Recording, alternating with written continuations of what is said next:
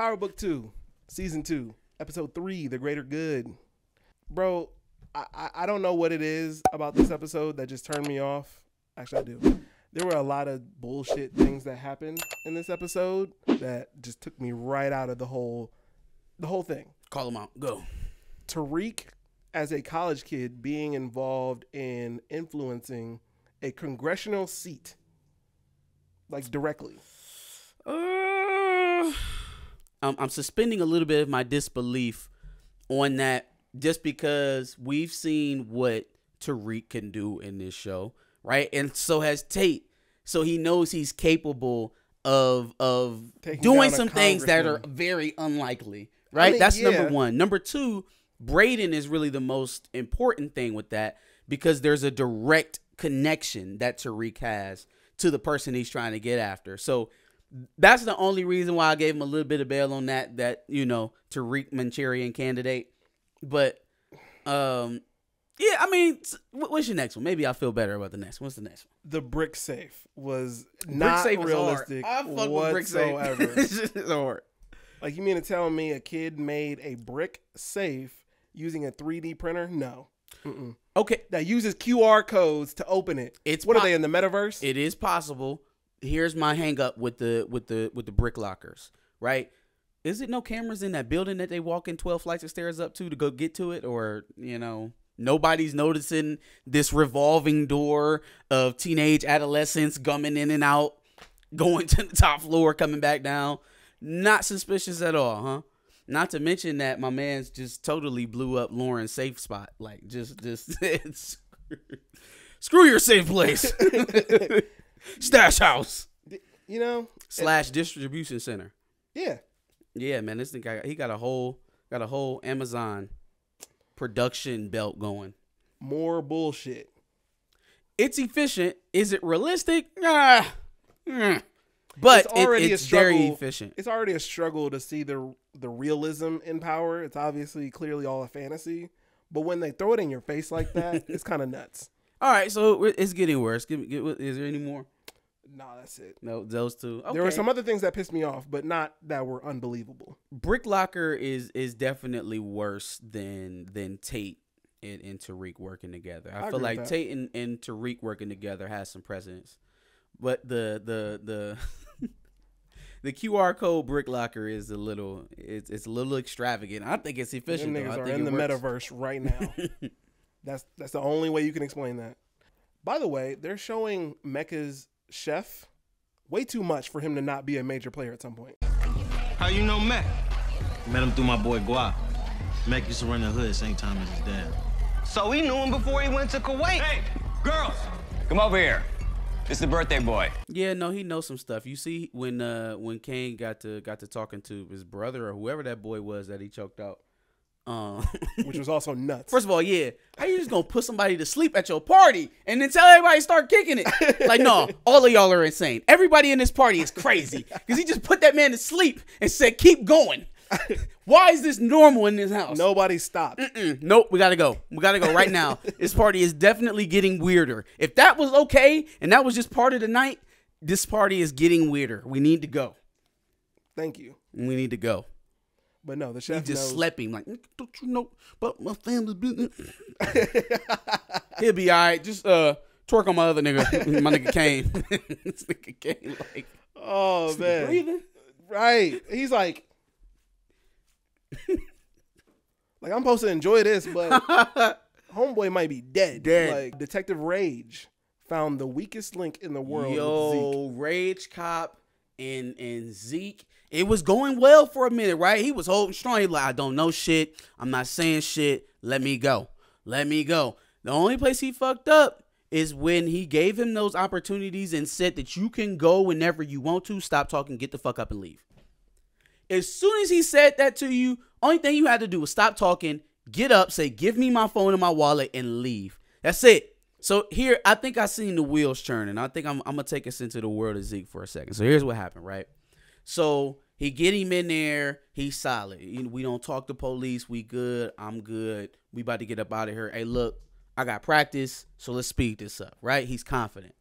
So he starts in, he's digging, he's digging, he's digging. he tries to he tries to put himself at an equal stature. I don't know if you caught it, but when he was telling him like I'm I'm Zeke, I I, I just declared for the draft. He's like, oh, I don't follow basketball. So right now he's trying to establish to you like I don't whatever gravitas you trying to put off to me, it doesn't affect me because I don't know who you are. Yeah. Right, Yeah. we're on an even playing field. Mhm. And then he starts pressing on that button that you know is gonna get to him. Carry, carry, carry, carry, carry, Carry carry. also calls carry, him. carry, carry. Boy, oh my god.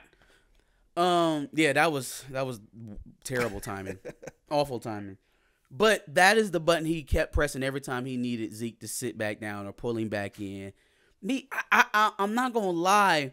Like when he when he told him, "Look, I understand what you're trying to do. If the school probably find out she gonna lose her job, but in the eyes of the law, y'all good because y'all adults. We really don't give a fuck." That that that that moment, he was like, "Well, damn. If I don't say nothing, I can protect her, and we can still get off because I know I didn't kill Jabari.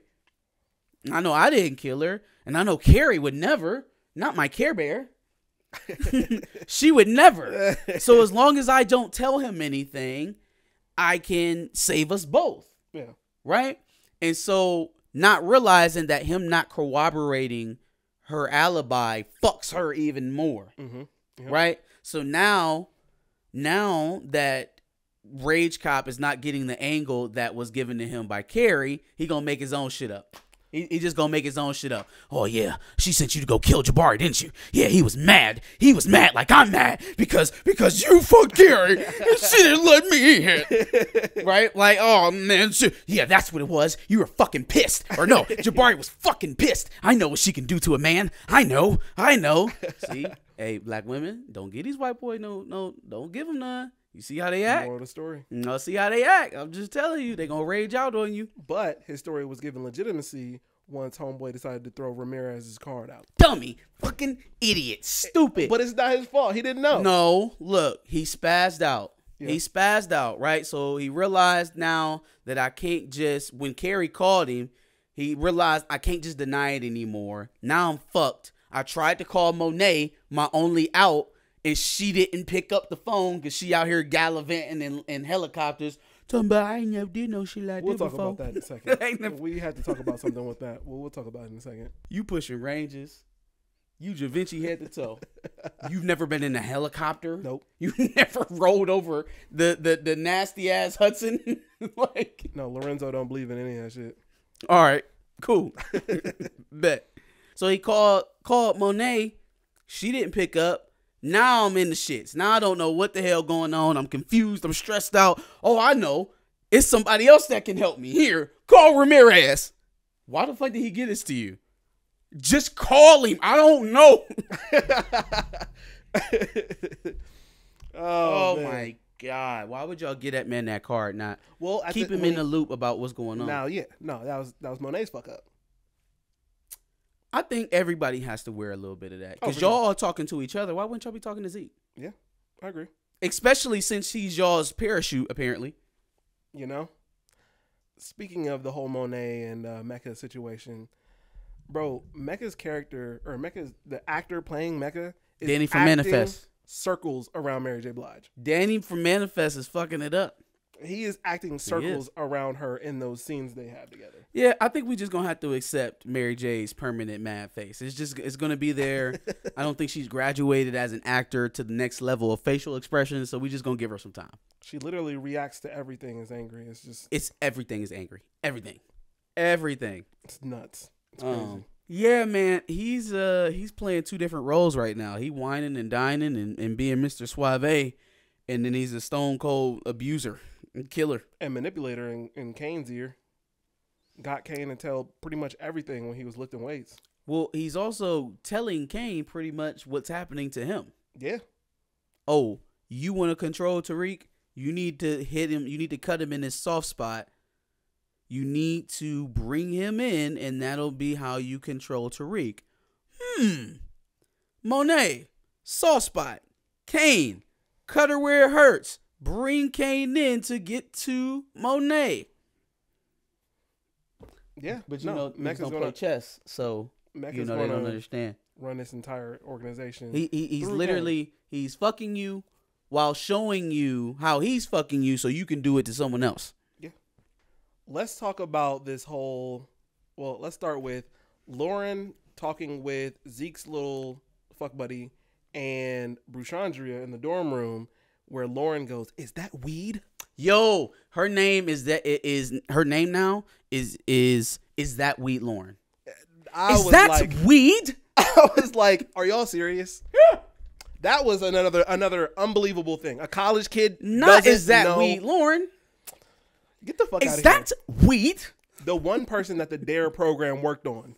Well, I think they were showing that to us for a reason though. Because ultimately when Lauren finds out while 30 motherfuckers is coming in and out of her safe spot, that's obviously going to be a crossroads with her and Tariq.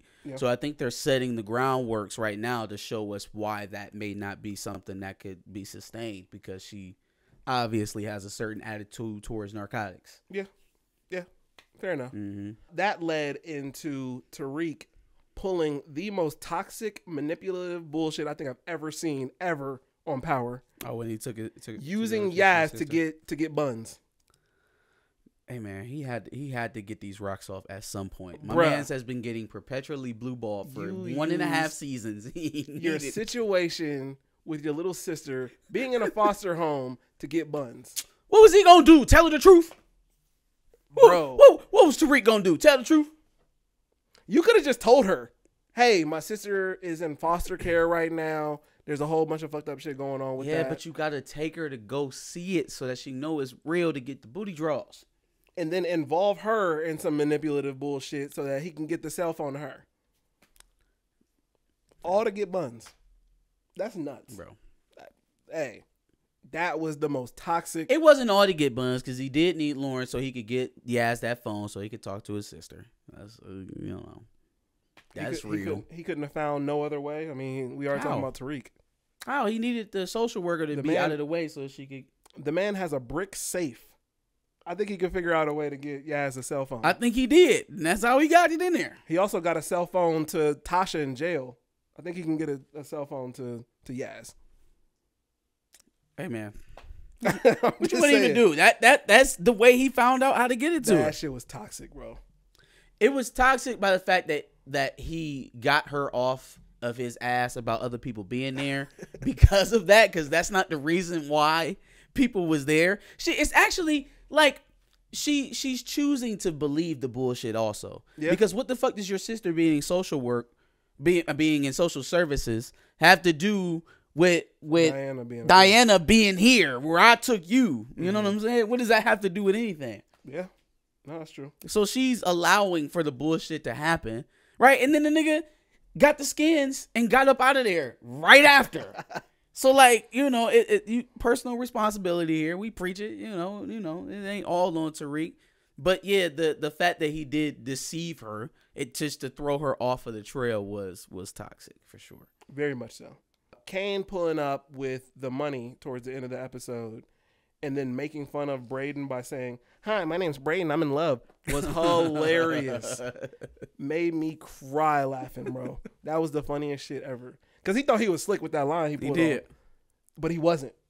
Like It fam, wasn't that slick. Little do you know, she already got that payment for you before you ever showed up. Payment was already made. You just didn't go get your you didn't get your money's worth. She's not impressed, bro. Probably not. bit. Probably not. But but it does appear that Brayden's going to be easily ma- manipulated. It seems like he's going to be very pliable.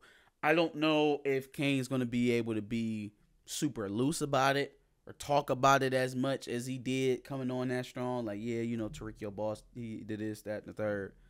Um, because Brayden has a certain loyalty to Tariq. Mhm. One that I do not think is reciprocated. True. And Um, that can lead itself to the fact that Brayden has control over Tariq in this whole LLC situation. Yeah, it's kind of mutually assured destruction, right? Because if Brayden, well, no, because Brayden's got control of the money now. If that's where he's going to be cleaning his money through, Brayden got control of it. but then also Brayden is the one who goes down if anything happens. True. So But he has his own connect. He controls the money, and he controls Tariq in a, in some form. So if he chooses to manipulate it that way, he might have to if he really wants to run the streets. He might have to he- strong arm Tariq into the streets. I don't. I don't think that's Brayden's path, though. I don't think he's not Tommy. Tommy was born into this shit. He's Facts. not Tommy.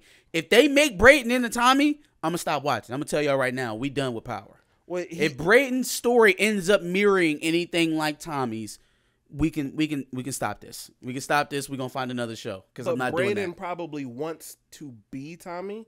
He No, obviously he obviously won't be though. Even if he ends up being one of the biggest distros in New York, just like Tommy, their paths should not mirror each other. Brayden is, was born into one of the oldest, richest families in New York. Yeah. Tommy was born to some redhead stripper. Kate or whatever her name was. You know what I mean? Like, not the same paths whatsoever. Now, it's funny that we're saying that because Ghost and Tariq did not have similar paths whatsoever, and still they sit, they ended up where they ended up. My problem with that is that that's fucking bullshit. that's bullshit. Nah, that is bullshit. it's bullshit, Definitely bullshit. right? Like you, I've already taken it. I've taken it once for Tariq. We've moved past it. I'm good. We talking about Ghost, right? But the fact that this man was a trust fund baby and lived that way well into on on his way into adulthood, and then threw a temper tantrum, and that somehow led him to being one of the biggest drug dealers in New York. So don't duplicate that with Brayden. like I can see him having a legitimate climb. It just it's going to be different from from Tommy's experience. Brayden is not about to be out here bodying people unless he does. Uh, Just show me. Just show me. But if it start looking very Tommy esque. Oh, oh, oh, oh, oh. So the video leaked. The video did leak of uh, uh, uh Zeke getting arrested. I think that's going to end up helping him because bro didn't read him no rights or nothing. He just bust up in the room, told the girl to shut the fuck up, and dragged him out of there. I think that's going to help him. I don't know if you've seen the previews for next week, but one of the things we brought up last week was Simon's involvement, and it. I don't know how they get there. It, they must be desperate because somehow Rage Cop and Simon get in the same room, and they about to find out whose white privilege is stronger. Mm. Because Simon said, "Hey, look, man, I'm King White Boy. Okay, this this whole white rage thing you've got, I invented it. You Oh, can't you no. can't beat your OG, baby." Plus, Davis MacLean seems like he's going to bat for them already in this episode. So Yeah, man. Yeah, man. It'll be Davis. MacLean out here picking up clients like a motherfucker. Man, what? here picking up clients. what Like retainers on like deck. dirty draws. retainers? He straight deck. up told uh Sachs like uh player if he could have paid and we could have got him out, we were representing him. so fix your face. Tell us what your thoughts are on this week's episode of Power. Was episode Three. Three. The greater good. Give us your comments below. And down below, there's also a power playlist below. So check that out to see more power reviews and make sure you subscribe.